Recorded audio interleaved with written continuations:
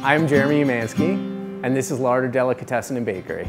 We are using a lot of these progressive techniques and we are creating approachable food. When we go and we create them, even though we're doing things that may be innovative or different, our goal is to present them in a manner that there's lots of familiarity to them. You know, when my friend Jonathan Sawyer had asked me to, make a miso, I did some research, how do you make it, you know, what, what makes a miso a miso, and koji just kept popping up.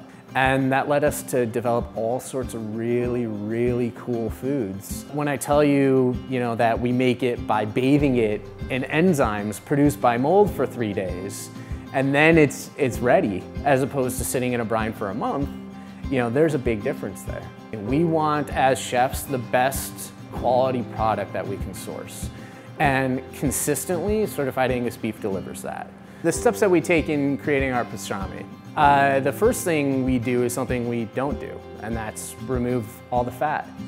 Uh, fat is flavor, and pastrami goes through multiple cooking processes. And if we cut off that fat cap, uh, then the meat can dry out during those processes. So they then get a mixture of salt and this liquid extract of koji we make called amazake applied to them. And then it'll live in the fridge for, for three days roughly. So we spice crust the meat, put in the smoker, We'll start off at a fairly high smoke point, but then we drop it to about 170. After that, we like the, the meat to chill overnight, and then we finish that with the final cook, and that's the steam.